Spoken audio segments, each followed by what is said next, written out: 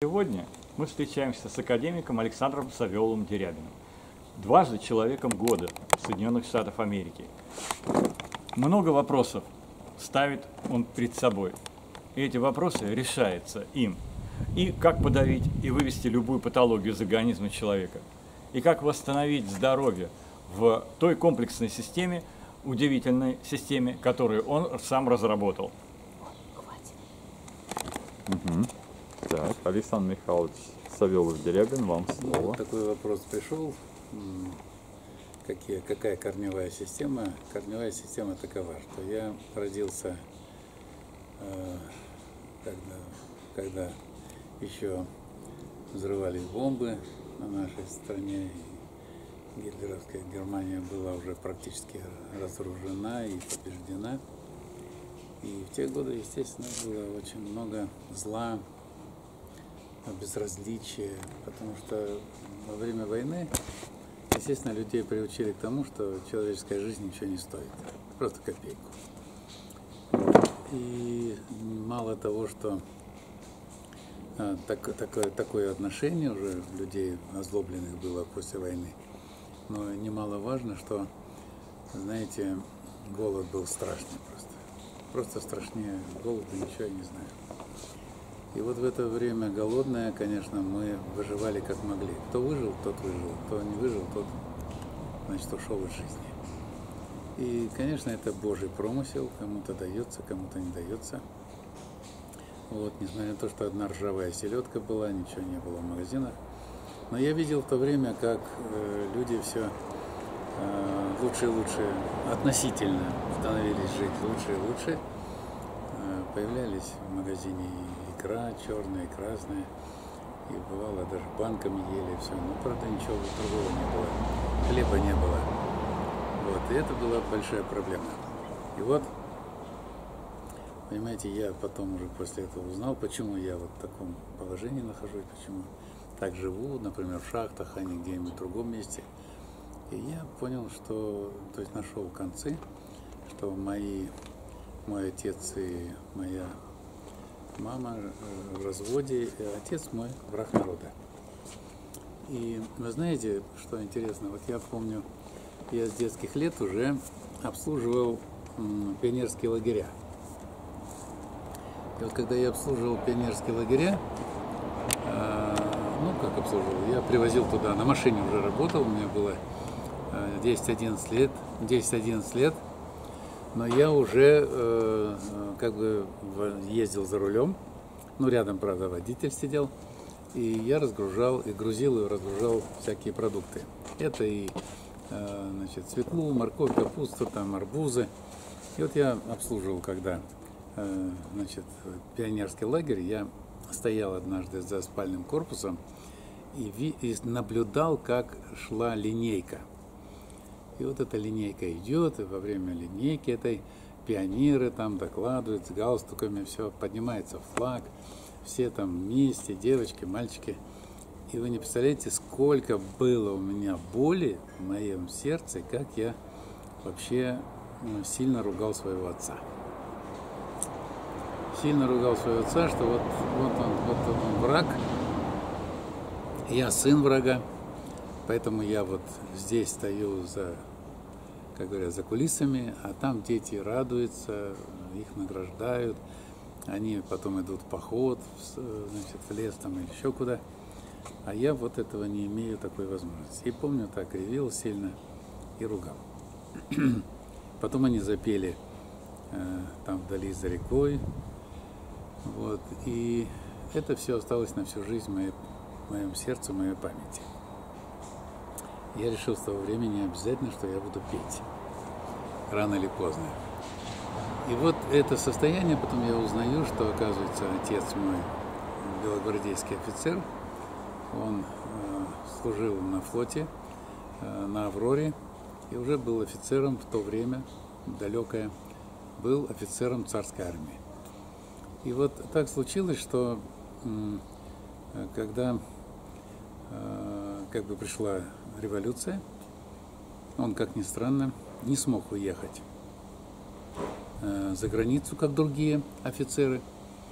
А ему он как бы пришел к Ленину. Э, И, а француженка, которая учила его французскому языку, ну, тогда он пять языков изучал, э, знает, знал почти в совершенстве, вот, она уже с Лениным работала. Она была, естественно, гувернанткой там, в нашем княжеском угодье. И вот, вы знаете, э, она туда его тоже пригласила. И вот он как бы принял все-таки революцию. Хотя, конечно, категорически не понимал, как может доярка или там еще кто-то управлять государством. Кухарка. Это был полный абсурд для него, но он хотел разобраться, потому что что-то нужно делать, чтобы не пролилась кровь. И как, так как он знал и Маркса, и Энгельса наизусть, и все, вот, и он как бы пришел к Ленину и сказал, что все сделать возможно, чтобы было бескровное. Революция свершилась, то, что произошло, то произошло. И сейчас офицеры все бегут из России. Я, говорит, бежать никуда не буду, и я останусь в России по-любому. Ему Ленин представляет, э, то есть он стал первым замполитом Красной Армии. Стал первым замполитом Красной Армии, э, так получилось, что замполит всему голова, и он уже был и там, и, и с коммунистами, то есть большевиками, и э, с белогвардейцами. И с белогвардейцами они договорились о том, что э, значит, он отправит белогвардейских офицеров в Европу. И он сделал все возможное для того, чтобы отправить. У нас были железнодорожные э, вагоны, вот, мы были железнопромышленниками, и очень большое количество скопилось поездов и вагонов. Погрузили людей, а значит, э, замполит, он был в какой-то степени выше, чем командар. Потому что все на политике строилось. И вот если замполит, замполит написал, вот, мандат дал, не, не имеет права никто отменить его. Если, например, тот, который отправляет поезда из, стрелки переводит, если он перевел стрелку и так случилось, что э, то есть он ну, остановил поезд. За одну, за один простой одной минуты людей расстреливали. Вот. И поэтому, естественно, все отдавали честь, и поезд про, прошел прямо в Европу. Ну, за это он знал, на что он идет, отец, за это расстреливали. И так было написано тройка или пятерка, там я сейчас не помню, такой был суд, вот, что расстрелять. Но должен был подписывать Ленин. И Ленин написал, что никаких э, расстрелов на пожизненную каторгу. Он должен отрабатывать все на пожизненной каторге. И он в Иркутск уехал. И вот мы потихонечку до шахт добрались. И отца, конечно, спасло то, что он, у него, они дружили с одним печником, э, дядей Ваней, который у него там э, в княжестве его работал. И он там с ним печки тоже клал. И вот он за счет того, что клал печки, вот в Иркутске он дожил. Вот так бывает судьба. Э, Сегодня одна, завтра другая ситуация. То он как бы князь князей, то он пользуется теми навыками, которые его научил вот этот рабочий. И а когда... родились уже в Иркутске, да? Да, это в Иркутске, да. И когда люди, не понимая, что они творят, не понимая, что они творят и не понимая, что они делают, ну, как бы, что вот сейчас говорят, вот там были люди, которые там эксплуатировали народ, все это такая чушь полная. То есть, если работник хороший, любой хозяин носил на руках этого человека, работника, потому что он делал его доход, он делал его богаче. Вот. И всячески и всегда его ну, как бы поддерживали, давали лучшее всегда ему и так далее. Поэтому все это было неправда. Вот. Именно вот хозяин всегда так поступал. Вот, и вот так вот все, естественно, шахта, естественно, работы другой нет. В шахте работаешь с 15 лет. Вот. И, естественно, и, и туберкулез, и антракоз, и силикоз, и все остальное. Вот. И это естественный процесс. Я, когда в шахте работал, не доработал 9, 9 то есть 9,8 отработал, чуть-чуть не хватило до пенсии персональной. И завал, больница, выход из больницы и так далее. И вот там же пришла вера, вера в Бога, вот, потому что так все случилось, что я как бы увидел вот в этом завале, когда был, что Бог есть. И я увидел это, но все равно вот такая упрямая натура, что я все время сомневался. Сомневался до определенного момента. А все время думал, ну не может быть, ну стол не может заговорить, если я не вижу ничего, такого быть не может. Вот, до какого-то, еще раз повторяю, определенного момента. Потом я уже, когда тяжело заболел, уже здесь, в Москве, а, потерял все практически. И приехал сюда, в Москву. Здесь, в Москве, э, решил любыми путями поступить э, в институт. Э, и я очень хотел петь, и я поступил все-таки в институт. Не с первого раза, но поступил. В институт имени Гнесиных, сейчас Академия Гнесиных. Вот. И с горем пополам я его закончил. Потому что поступал вообще смешно. Я не знал ни одной ноты, я знал только название до, ре, ми, фа, соль, си, си, соль, фа, ми, ре, до, и больше ничего. И, и когда я, а, да, когда я работал в шахте, я все а, партии выучил наизусть. Э, особенно ну, там, где бас участвует, где басовые партии есть для себя. И когда я приехал в институт, я все наизусть пел, и все были удивлены, как-то так я могу все вот, вообще знать. И мне даже говорят так, а может быть ты за Марфу споешь, а может быть ты за Любашу споешь в царской невесте. Вот. А может быть ты за тенора Бомелия споешь. Я говорю, «А мне все равно. Ставьте ноты, я буду петь. Вот. И таким вот образом, значит, я поступил но сели мы писать диктант. Я думаю, что диктант обычно, как мы в школе писали. Вот. А оказывается, что это совсем другой диктант, музыкальный. И все пишут, а я сижу, не могу понять, что они пишут. Там педагог там проиграла, и все пишут все. И вот так вот я, конечно, попался, который кусался, и я ничего не знаю. Вот, оказывается, люди минимум были со школы музыкальной, ну, с училищем даже музыкальным. Вот, а я вот без всяких образований. Ну, меня взяли, несмотря на что, потому что у меня был абсолютный слух. Вот, и э, как бы вот такие знания, познания практические. Вот, и я закончил этот институт. Со второго курса я поступил в Большой театр, прослушался, меня взяли, потому что я пять партий э, сдал э, готовых, потому что абсолютный слух был и память хорошая. И когда меня взяли на втором курсе уже института, а проработал в театре три с половиной года уже, э, меня я хожу в поликлинику ВТО. Вот что интересно. Хожу в поликлинику ВТО, но казалось бы, это самая крутая поликлиника в Москве. И мне все время говорят, ты не хочешь работать, ты тунеядец, и, в общем, мы тебя будем на портком вызовем. А я не комсомолец, не пионер, не, тем более партийный.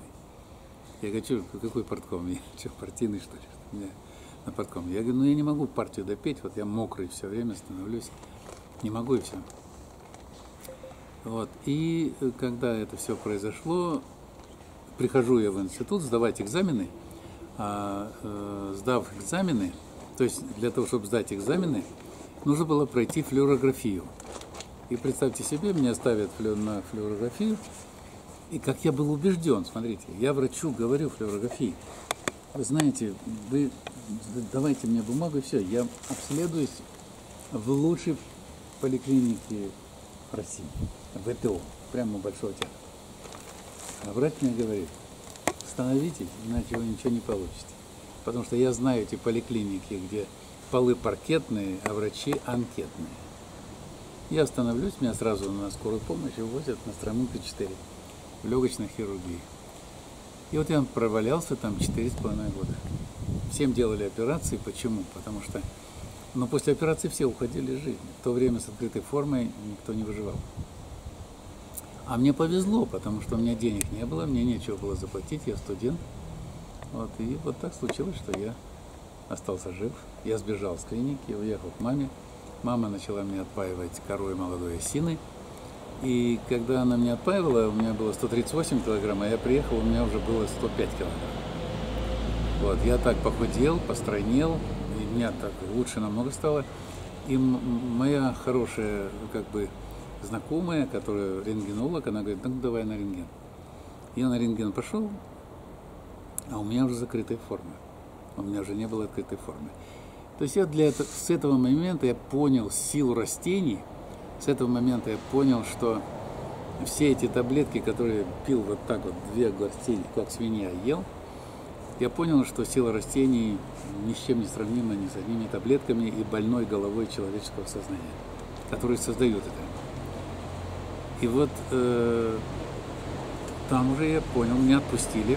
Но из-за этого я получил квартиру в Москве, потому что Большой театр, где я прописан был в общежитии, все сделала для, для того, чтобы меня быстрее туда убрать, потому что я с туберкулезом. Вот. И мне, я иду в общежитие, а мне дают значит, повестку, приходите, получите квартиру, ключи. Я был в шоке, я не мог поверить, что такое вообще может быть. Я бездомный, бездомная овца, которая негде голову преклонить, все время жил на, на чердаках в Москве. Вот. И вдруг я получаю квартиру, вожусь, реву, и не могу поверить, что это факт. Комната была 20 метров, кухня 10 метров, это было просто какая-то... Это какая здесь, да? Нет, нет, это еще было там, на Соколе. Потом я поменялся сюда. Вот, и вот это такое случилось, и я еще больше и больше убеждался, что как бы тяжко мне не было, но все равно Господь выводил меня на победные рубежи. А можно спросить, извиняюсь, а вот как вы получили эту квартиру? Все-таки это вот очень необычно, конечно. Необычно, Но потому что Большой помог? театр. А, Большой, большой театр. Ну, конечно. Помог. Они мечтали о том, чтобы я в общежитии не жил с молодыми артистами. Несмотря на то, что вы плохо себя чувствовали, все равно они пошли вам. Да, но, во-первых, э, а почему мне выдали?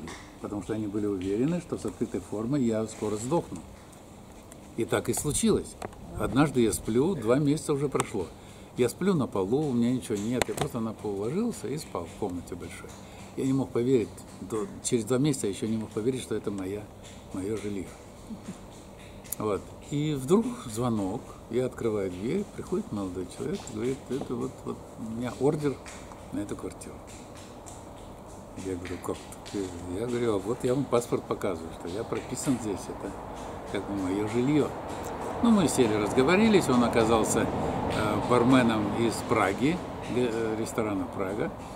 Э, он, естественно, заплатил большие взятки и все такое, квартиру, все ему. Ну, потому что были уверены на сто процентов, что я сдохну. Потому что так другого не было. Вот. И вот так вот случилось.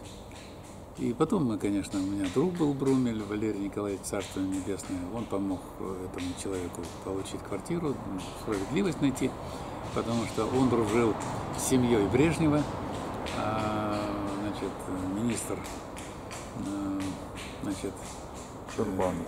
Чурбанов был, да, и тогда все это дело быстро, быстро решили все, да. И этот человек получил то, что, за что он заплатил. И я остался в своей квартире, потом поменялся сюда. Вот, и мы стали более плотно дружить с Валерием Николаевичем Брумелем, великим олимпийским чемпионом. И таким образом, как бы с театром было покончено, надо было выходить из этого состояния. Вот, а открытая, все равно закрытая форма, но все равно туберкулез. Поэтому я начал искать ходы и выходы. Я через своих коллег по вокалу я, меня привели к Виталию Васильевичу Караваеву, великому биохимику на те, на те времена. Вот. И э, как бы я начал служить ему верой и правдой. Сидел в библиотеках, я был книжник, я сидел в библиотеках день и ночь, у меня там подружка была моя. Вот, и мы доставали любую литературу для Виталия Васильевича. Я, мол, мыл полы, там все делал у него. Вот, э, ремонтом занимался и так далее. То есть мне нужно было э, сначала выздороветь, вот, что и произошло. У меня уже не было туберкулеза. Принимая Виталия Васильевича э, рецепты и снадобья, которые готовила Маргарита, его сожительница. Потом так случилось, что ему негде было жить. Он с Маргаритой как-то разбежался. А это еще до Баландины было, Да, да? да. Или, И... или это Баландина? Нет, после? нет, это уже после Баландина. Нет, А. это после Баландина. Ага. После того, да. А когда он сидел в психушке, мы его оттуда вы- вытащили. Как вы его вытаскивали? Первый раз. Там Ну, это А нельзя говорить.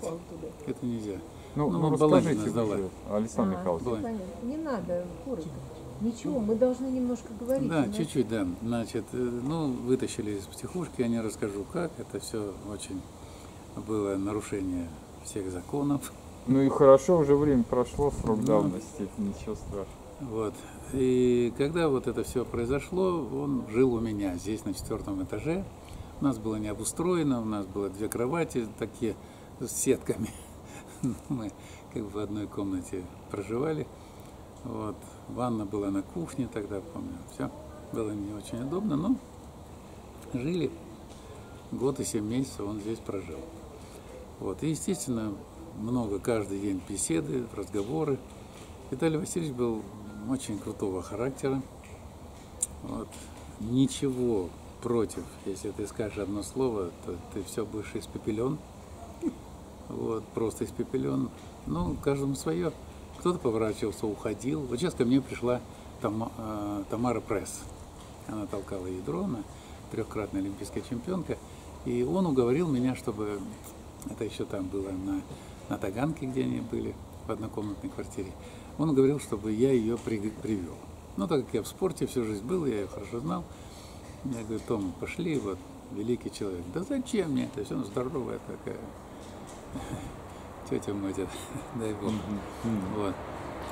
И да нет, не нужно мне. Потом, когда это было смешной такой случай, незабываемый, Виталий Васильевич, ну, после этих всех психушек и всего остального, был такой худой-худой, прям кожа и кости. И, конечно, выглядел старше намного своих лет. И он мне рассказывает, он так вот, он всегда любил так показать. Он говорит, я из любой старушки сделаю молодушку. Да, это его приск. Да, такая присказка у меня всегда была. А она прямолинейная такая женщина. Говорит, да ты, говорит, себя, говорит, омолоди. Ты, говорит, похож-то на кого посмотри. Кощей бессмертный. Вот. Она такая здоровая, крепкая тетя. Вот. Чего ты болтаешь? Виталий Васильевич растерялся, вернее. Ну, я там Такого он не ожидал. да, он- все всегда все в рот ему смотрели, и вдруг приходит. Ну, я Тамару вывел, говорю, пошли, пошли. А то сейчас тут будет ураган такой, что ой Вот. Ну, увел там потом. Вот это было так смешно, потому что он действительно положил себя на, на плаху науки и все делал через себя. Он э, входил в атомный реактор, он только не делал. Ну, ну, такой человек. Он все пока тысячу один раз на себе не проверит. Вот На я взял, он я взял это э, его пример и то же самое все делаю. Замечательно. Все что угодно. Это и сам себя наношу. Все, любой препарат, который я делаю, я сначала проверяю все тысячу один раз на себе, потом на животных, а потом уже на людях.